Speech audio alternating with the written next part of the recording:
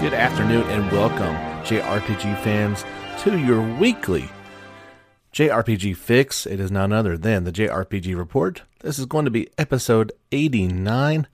I'm your host, James Fisher. Thank you so much for tuning in. Yet again, we've got a ton of stories to talk about. So let's just dive right into it. Over the past week, we had a um, very interesting announcement. We've been wondering what was going on with Kingdom Hearts 3's downloadable content Remind. There hasn't been a whole lot out there. Um, they had that concert a while back and popped up that it was um, coming out soon. Well, soon is going to be on January 23rd of 2020 for PlayStation 4 if you have an Xbox One, you get to wait a little bit longer. It's not until February 25th, Square Enix announced. Pre orders are live as of right now. So, first, let's get into what it is, and then we'll get into what it costs, and then we'll get into what the uh, what the trailer kind of showed off. So, here is an overview. Remind, the other tale that unfolded during the climax of Kingdom Hearts 3. Determined to rescue Kairi, Sora travels to the Keyblade graveyard a short time before the final battle was to take place. Lacking a, corp- a corporal form, he traces the hearts of the seven guardians of light. Though experiencing their personal battles firsthand, Sora is about to discover truths that he has never before imagined. Um, of course, Kingdom Hearts 3 is available for PlayStation 4 and Xbox One um, already, and this is the much anticipated DLC. So it is going to cost twenty nine ninety nine. Now, by DLC standards, that's pretty pricey. That's more more along what you would expect to pay for like some of the expansion packs that would come out for for PC games, you know, uh, something that would add a sizable chunk of content to it. Typically, a DLC episode is more in the ten to fifteen dollar range for consoles. So, I'm I'm thinking you're going to get you well. Let's put it this way: you're going to be expecting quite a bit for thirty dollars. And here's what you get: the additional story, Remind, limit cut episode, and thirteen boss battles. Secret episode and boss battle, data greeting feature, slideshow feature, and the premium menu, which says to diverse div- difficulty settings and gameplay challenges. Now, there's also a, um, let's call it a deluxe version uh, for $39.99, so $10 more, and you get the concert video, which is 19 tracks. This version includes everything in the above version, plus footage of the 19 tracks from the Kingdom Hearts World of Tres Orchestra concert, which was recorded in Osaka, Japan. So, if you are super into that, it's really not a bad deal. I mean, if you're talking like a concert DVD of uh, for 10 bucks, that's it's pretty pretty solid. There will also be free DLC. This is version 1.07, which offers a main story update, new abilities added, Keyblades, Oathkeeper, and Oblivion, plus new form changes added. In-game requirement uh, in Kingdom Hearts 3 to acquire Keyblade, and the sharing feature has been expanded. So, while that's uh, you know a very uh, it, it certainly says what is in there. It would not be Kingdom Hearts if you didn't watch the trailer and have more questions than answers. So this is said to take place before the final battle. Um, it in the trailer it shows Kairi and even shows without spoiling too much for you guys without you need to go watch this trailer it it it shows Kairi fighting which is pretty awesome. There seems to be some uh, dialogue between Riku and Aqua, and maybe getting to play as her again. Uh, we finally have the return of Final Fantasy characters to Kingdom Hearts. I don't know what kind of role they will be playing, and the only ones we saw were um, Aerith, Yuffie, and Don't Call Me Squall. I'm Leon for whatever reason in, in these games. And that's it so far. I can't imagine we don't see uh, remastered Cloud show up at some point in time. That, just kind of makes sense, don't you think? Uh, they're just not ready to show that yet. But we'll we'll just have to wait and see. So I am definitely as you all know, Kingdom Hearts 3 left a bitter taste in my mouth. It was fine. I I didn't love it. That's about all I can say about it. And so there are a lot of people that are going to be very excited about this DLC. I'm I can't say I'm one of them and for me, especially at that price point, $30, that's pretty high. Um I didn't I, I don't know what I would have paid for this one, but it's not that. And and I hate to just be a downer when we really don't know anything about it. Right now, it looks good. Um, Kingdom Hearts 3 has always looked good. We'll just have to wait and see um, what this actually delivers. Again, coming out on January 23rd for PS4, Xbox One on February 25th. So, are you guys excited about Remind? Leave your comments on the Facebook page. I've posted this article. Let me know. Are you yay or nay? Are you kind of like, eh, whatever?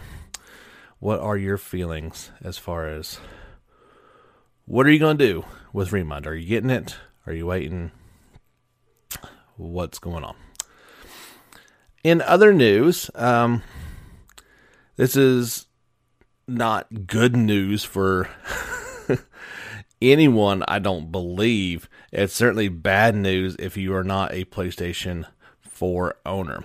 Uh, there is a updated version to the Final Fantasy VII Remake box art, which now sports the fancy little label in the bottom right corner, PlayStation exclusive. Play first on PS4, and I believe there's a little trademark symbol beside it, and the asterisk, timed exclusive until 3 3 21. So, yeah, it's not coming to PC or Xbox One.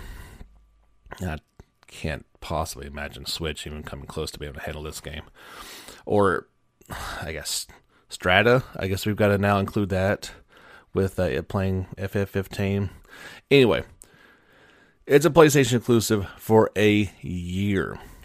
Um, we could very easily be playing episode 2 on PlayStation 4 or 5 before um, the first part comes out for other systems. Um, as a PS4 owner, I'm fine with this. There's as far as like JRPG goes, rarely is there a case where PlayStation is kind of shunned in the realm, you know, outside of a game series, you know, like Xenoblade or um, those type of Nintendo exclusives. You know, PlayStation rarely gets the shaft, and that is unfortunately because you know Square and other Japanese companies support Sony, a Japanese company. It's just not that really difficult to to figure out, and so you know PlayStation pays for stuff like that. Xbox pays for exclusivities, you know, stuff like Minecraft. Um, just you know, popping in my head first that's just the nature of business. So, hate to be the bearer of bad news if you were holding out um, for good news as far as that goes. You might want to pony up and get a and and and by that point, you know, you you can get a PS4 pretty cheap now. We're with PS5 coming out in 2020. It's uh, be a pretty decent time to get get one. Those were the two big stories. Um, there are plenty of other things to talk about. We did get some more Persona 5 uh, the fa- Scramble, the Phantom Strikers news as we got the new trailer for Fox. Uh, Yusuke's action packed trailer broke out. Uh, of course, we've already got the trailers for Ann, Morgana, Ryuji, Sophia, and Joker. We got some other news as well for Persona 5 Strikers. I, striker, scramble the Phantom Strikers. I don't know if I'm ever going to get that title correct. I keep wanting to call it just Persona 5 Strikers. Uh, Atlus debuted new gameplay footage of the game during the latest Dengeki PlayStation live stream. The footage showcases the. Uh, I'm so bad with these names. Shibuya and Sendai jails playing as protagonists Sophia, Ryuji, um, Sakamoto, and Morgana and Yusuke. So there is a I've got the link for this story as well as every story that I talk about. There is the link over on the Facebook page. So if you would like to check it out, you can. It's kind of kind of cool that we've got a jail gameplay in uh, in Scramble. That's gonna the game just looks like so much fun. I cannot wait. Well, we're gonna have to wait a long time before we get our hands on that one. A uh, game you can play right now if you would like to. Star Ocean First Departure R is available on PS4 and Switch at the moment. They had their launch trailer, of course. Uh, launch today on PS4 on the PlayStation Store and Switch on the eShop is going for twenty ninety nine. Um, it has full voiceovers. Players can choose between the original full voice cast from the PSP system version of the game in either Japanese or English, or the newly recorded version featuring Japanese voice cast from the original Super Famicom version, which released in Japan only. You can they have the new character illustrations. Players can opt for the original character illustrations from Star Ocean First Departure or brand new versions drawn by famous illustrator uh, Katsumi Enami from Star Ocean The Last Hope. There is a speed mode Players can traverse the world can traverse the world more swiftly. Adjusted game balance. You can uh, adjust battle difficulty to enable players to experience more challenges in combat. That speed mode looks pretty vital. As uh, I was watching some early gameplay of the video of people walking around, and it is they weren't moving quickly. it was it was pretty slow. So that's that's something that's going to be greatly appreciated. I do believe. I believe we talked about this last week, but uh, Bandai Namco released version 2.20 update to God Eater 3, adding the Lulu and Ricardo chapters to Traversing the Past episode, New Game Plus, Jukebox features, and more. So that uh, that update is live. There are, of course, various bug fixes and and the such, but it is all out there for you guys to enjoy. I don't know what's going on with these trailers for Trials of Mana, but we have a new one. Remember, it, we've got individual trailers for everybody. Those have popped up in the past couple weeks. The game doesn't come out till April, and now we've got what they're calling the first in a series of three trailers spotlighting the main characters. Okay, we got that. The first trailer focuses on Duran and Angela. So now they are, these are kind of together. And I mean, I love what I'm seeing out of this game. I really do. I guess I just, I'm not quite sure what they're doing with these, with all these trailers. So here is the overview and how they are linked. Duran is a swordsman from the kingdom of Valencia.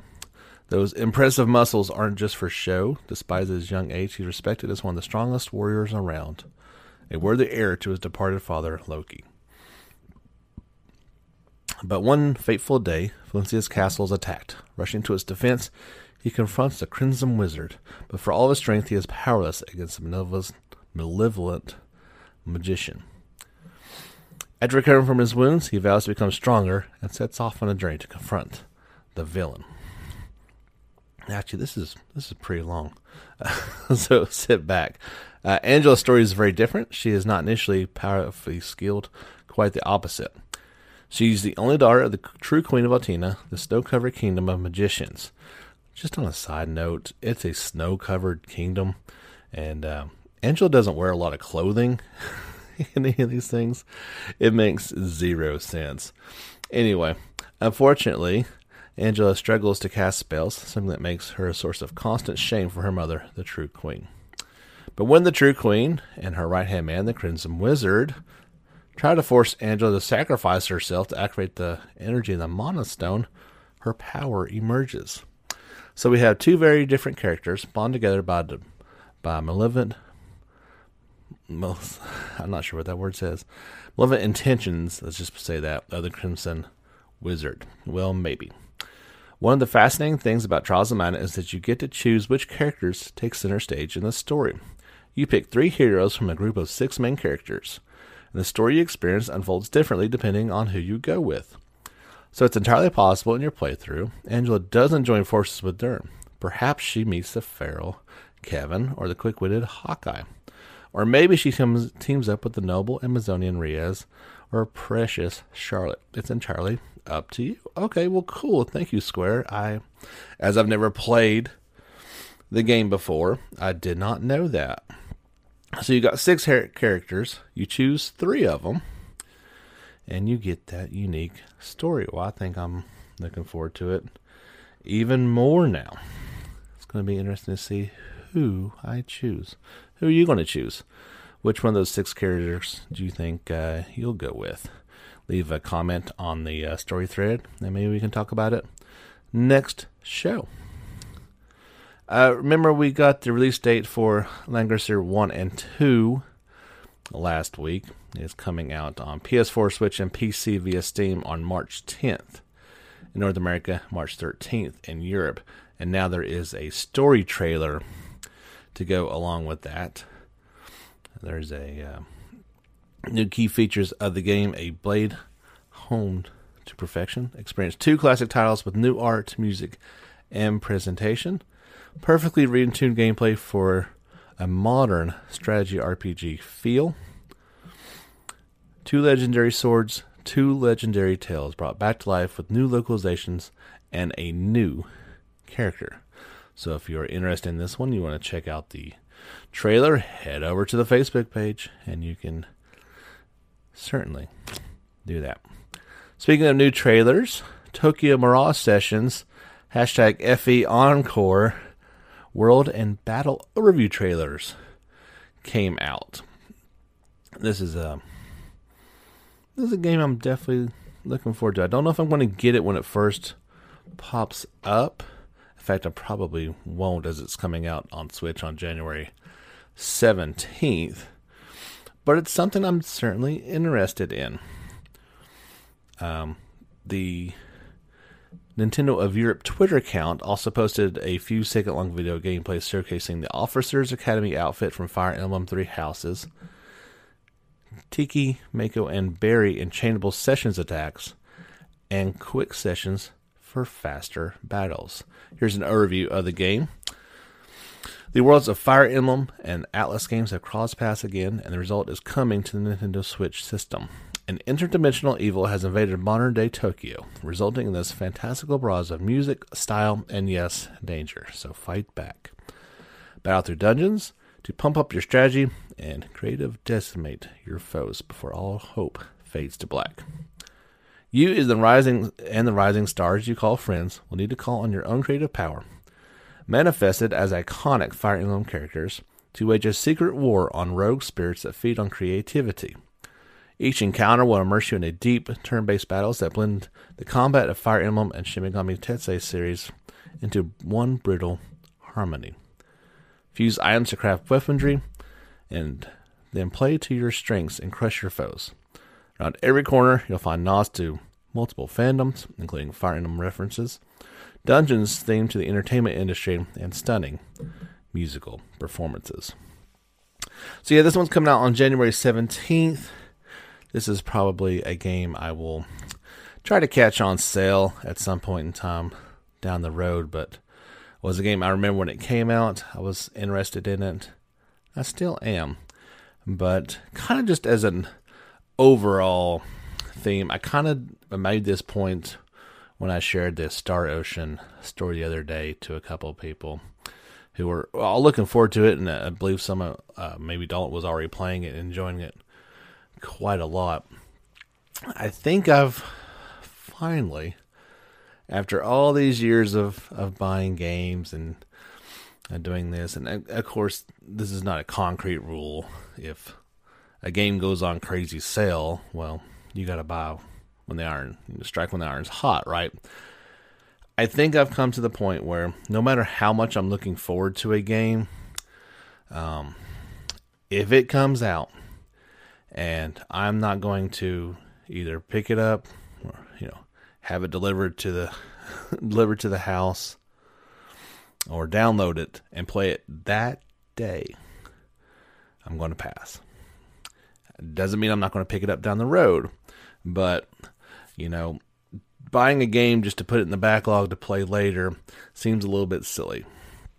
And of course, holidays and birthdays and gifts, that's that doesn't really work, but I think, you know, that was the first time I've made that conscious decision like no matter how much I'm looking forward to and want to play this game, I'm just going to wait and it's going to be cheaper than it is the day that it comes out. It's that's just the way things work. And when I'm ready to play the game, or it comes up on a flash sale, or the, I mean, you go on the PlayStation Store, there's literally a sale going on every week. So, uh, outside of a handful of titles, you know, your Trails of Cold Steel, your Dragon Quest, your Personas, your Final Fantasy VII remasters, those are all day one purchases, and that's non negotiable. Outside of those, I think I'm just going to, I think I'm finally going to wait and um, save myself a little bit of money because as it is for everybody, money's a little tight. Anyway, that's my rant for the week. And uh, being a cheapskate, it's not easy, but I'd try to do it well. Let's take a quick break here on the JRPG report. Let you guys and myself catch our breaths and have a quick word from our sponsor. We'll be right back. All right, everyone, let's keep things rolling right along and let's quickly update everybody on the contest. Remember, if you sign up for listener support between now and the end of the year, that's a couple more weeks, you'll be entered to win that Final Fantasy VII Remaster Special Edition, an $80 value. Right now, we've still got three entries in that contest. Jordan, Dalton, and Andre, you are in it to win it. That means I need two more people to sign up for listener support to now and the end of the year to make that contest live. And I did have a thought that, you know, perhaps you've already paid for your copy of the game coming out. Maybe you don't want to play it. Maybe you want something else. So, do you want Persona 5 Royal Special Edition? Do you want a Amazon gift card for $80? I don't care. Uh, it doesn't matter to me. So if that is something that has been holding you back out of the contest, I want to make this thing live and I want somebody to win. So uh, if you go ahead and sign up, and if you win, if you want something else, that's fine. That's fine. I'd give you 80 bucks cash if, if I knew I'd see you. So it does not matter to me. I just, I, I think this is a very exciting thing. Um, obviously, you're also supporting the podcast and uh, this effort to reach you guys each and every week. It doesn't uh, doesn't pay very much, maybe like a couple cents per episode through uh, through you listen to that ad, but. I want to do something to give back to all you awesome listeners. So, two more you guys sign up so we can make this happen, and you get your choice of whatever awesome prize you want. If you don't want FF7 remastered, it's fine. Don't matter to me. Uh, got some quick stories to talk about. Um, there was a new developer diary for Monster Hunter World Iceborne expansion.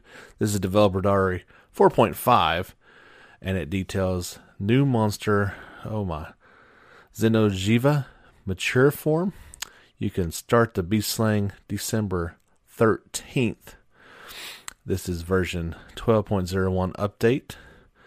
Um, so, yeah, if you want to check that out, head on over to the Facebook page and you can see the link to that story. Um, a game I am looking forward to.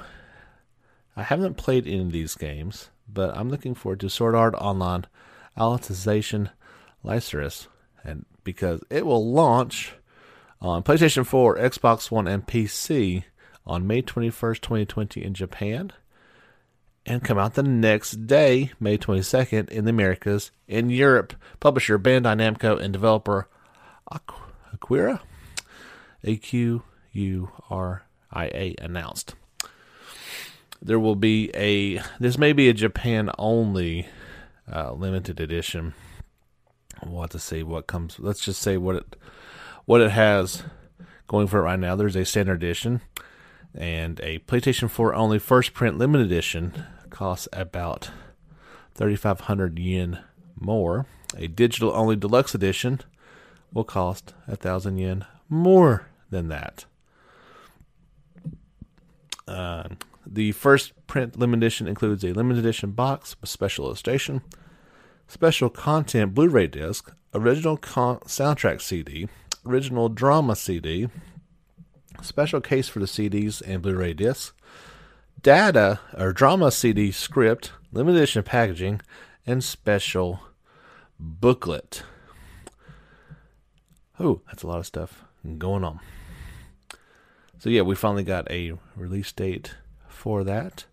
This is is overview of the game. Your journey is ready to begin. For the first time ever, players can experience Sword Art Online's anime storyline in game format with Alicization Lycoris. Play as the protagonist Kirito and immerse yourself in the underworld, a mysterious virtual world set in the anime's Alicization arc. Featuring intense battle action, stunning JRPG visuals, and an expansive world Free you to explore, journey through your latest VR MMO Sword Art Online game is ready to begin. Key features include the Lycoris flower. Lycoris is a species of flower found in the south of Japan which symbolizes passion, sad memories, reunion, and self reliance. Experience these themes as you dive into the game's storyline. They say that it's faithful to the original work. Kirito has awoken in a mysterious yet somehow familiar virtual world where AIs behave like humans. In this world, Kirito meets a young man named Eugeo.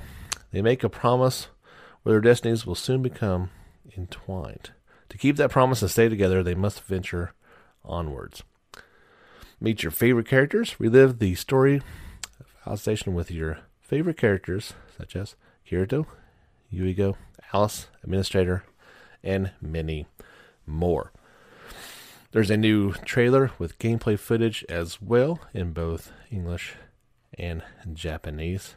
I believe the gameplay one is more in Japanese. It just looks like a fun game. Like I said, I've not played these games before, but from what I've seen in um, from the videos, looks pretty cool. Looks like a lot of fun.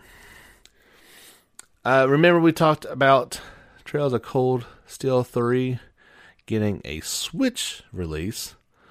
Well, it now has a release date of March 19th, 2020 in Japan for nearly 7,000 yen, publisher Nippon Ichi Software announced in the latest issue of Weekly Famitsu. In North America and Europe, NIS America released the Switch version in spring 2020. The Switch version will include a high speed skip mode and much of the game's downloadable content, as well as every casual outfit set, each character's bathing suit, and the headgear set.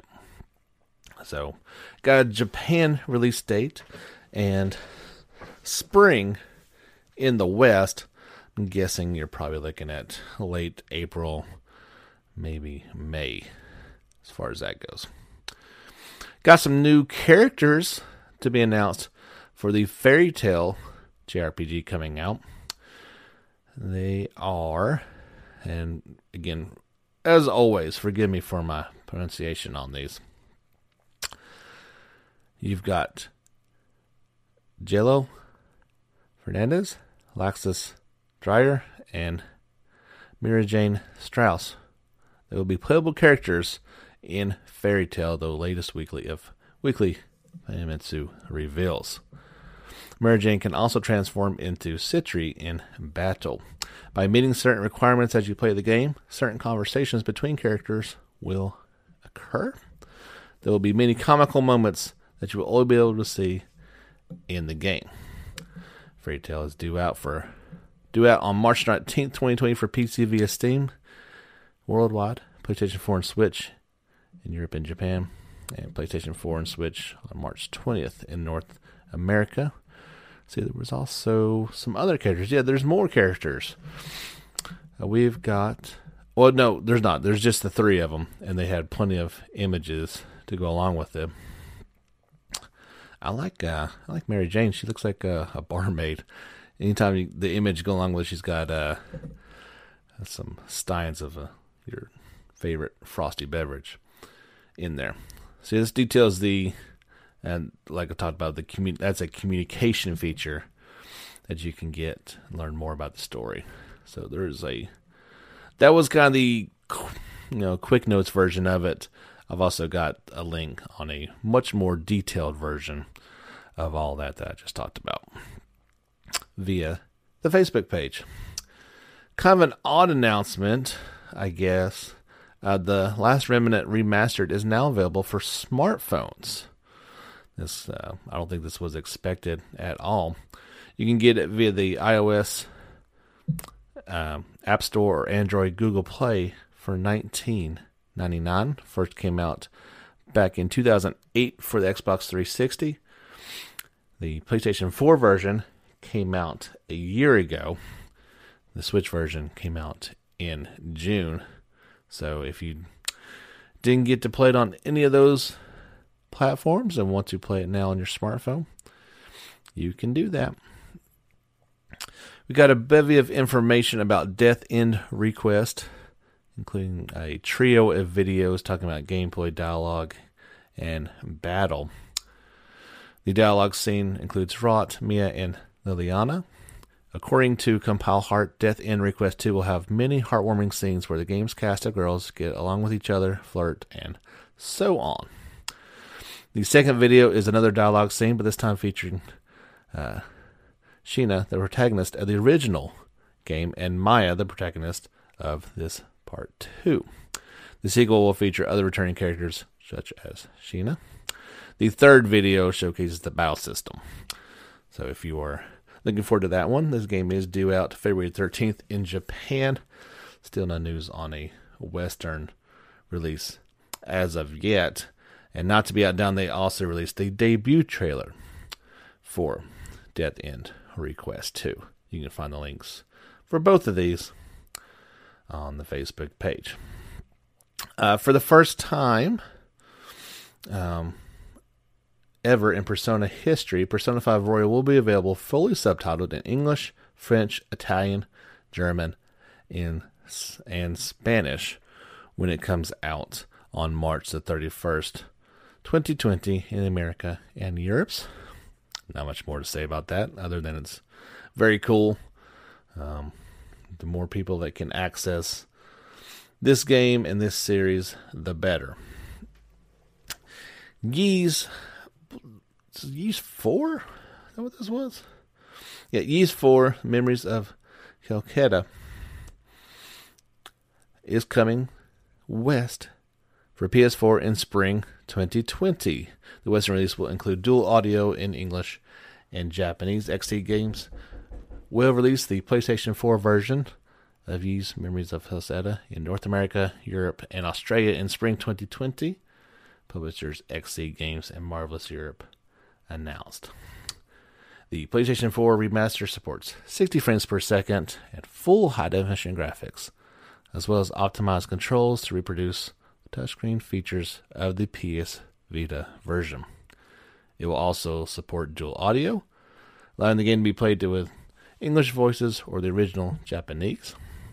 The PC version will receive dual audio support as well as a free patch in the near future. In North America, physical Day 1 Timeless Adventure Edition will be available for $39.99 at the Xseed Game Store and other participating retailers, and will be the only version available at retail at launch. It includes a copy of the game, special soundtrack CD that was part of the 25, 25th anniversary pack in Japan, containing nine rearranged songs from Ys 1 through 7 and Ys Origin, along with another five songs from the original MSX release, as well as 12 4x6 inch art cards highlighting various Ys heroines. The digital edition of the game will be available for only $29.99. In Europe, the physical edition of Ys Memories of Celceta will be available at select retailers. Pre-order and pricing availabilities for both physical and digital editions will be confirmed closer to release date. There is a Western announcement trailer to go along with this one. Looks like a lot of fun. Um, you know, the Ys series is something as a uh, just a series I never got into, and maybe one day it is one that I can. But announcements like this is they are certainly welcome and and a good thing. And I know there's a lot of people that'll be excited to hear about that. Um, this is kind of just a cool announcement. I don't know how many JRPGs are included in this one. There's not a whole lot that that uh, stick out to me, but there are. This is actually going on tonight. The Game Awards are going on uh, December twelfth. Um, they will be live broadcast at 5:30 Pacific and 8:30 Eastern Standard Time on YouTube, Twitch, Mixer, Facebook, Twitter, and other various platforms. That's not what I want to talk about.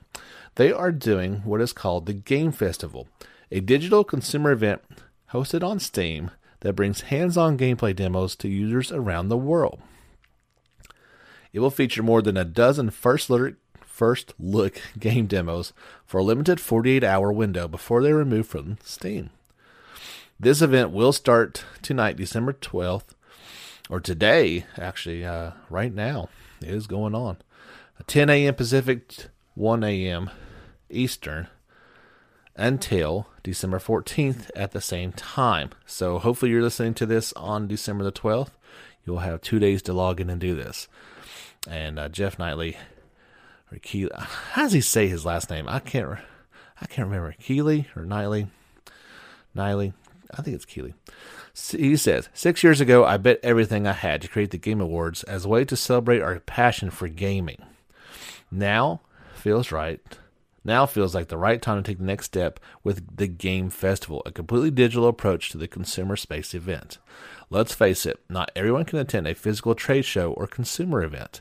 The Game Festival is designed, is designed from the ground up as an event without barriers, extending the benefits of a physical event to the global gaming community that watches the Game Awards. Here are some, well, it looks like all of them, of the 12 plus, okay, some of the 12 plus games that were released free limited demos on Steam for the Game Festival.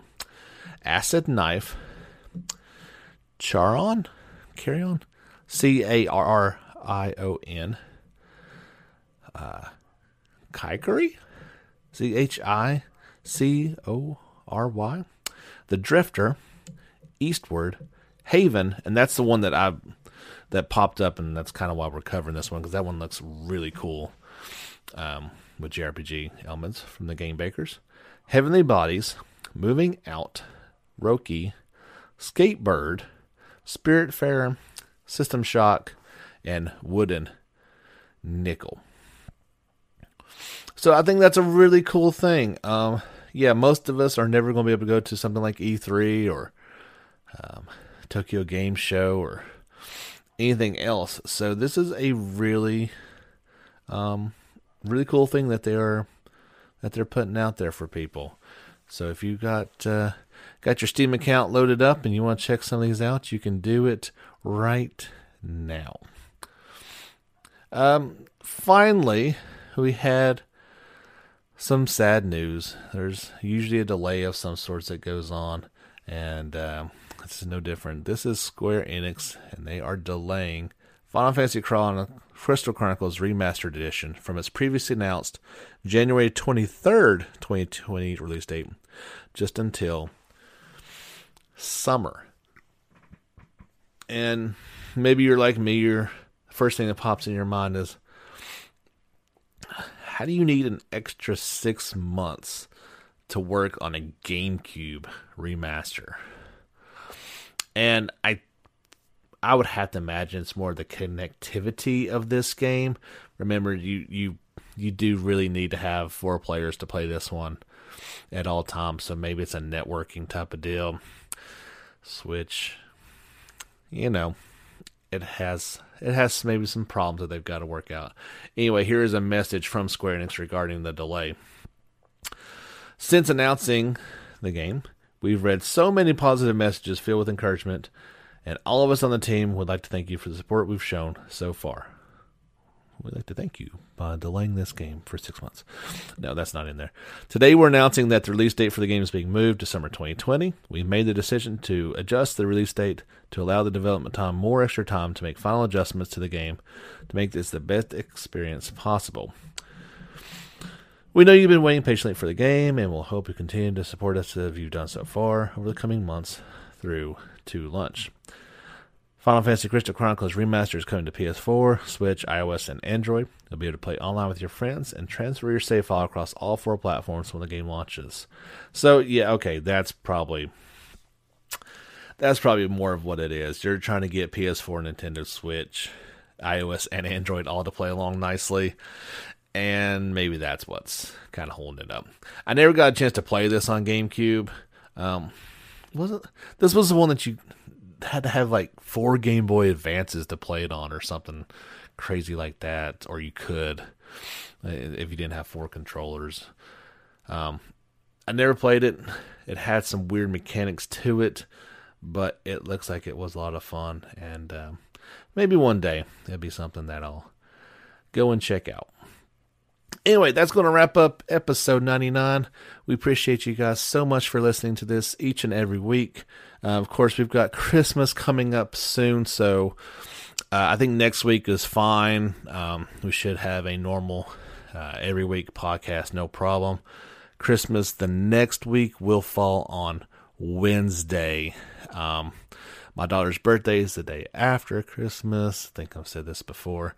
So that whole week looks like it's going to be kind of up in the air. Um, I may just try to record a, a Sunday special and put it out that week like normal. I don't like to miss weeks with you guys. So if you don't get nothing the week of Christmas, sorry. You know, family comes first. That's just the way it is. But uh, we'll catch everything back up the following week. You know we will. Uh, don't forget, give us a like on Facebook, subscribe on YouTube, um, leave us a review. Um, that certainly always helps us out. Whatever platform you listen to us on, give us a good review, and that can only bump things up and make more fellow JRPG listeners like yourself be able to find our little podcast. Thanks, guys. We'll catch you next time. Don't forget, get back out there and level up.